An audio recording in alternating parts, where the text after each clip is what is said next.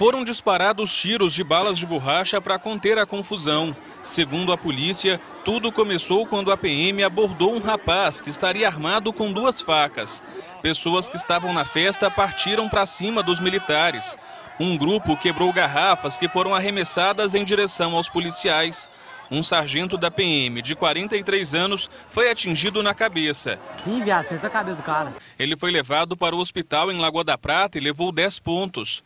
Um guarda municipal de 32 anos foi encaminhado para o pronto-socorro João 23, em Belo Horizonte, e corre o risco de perder um dos olhos.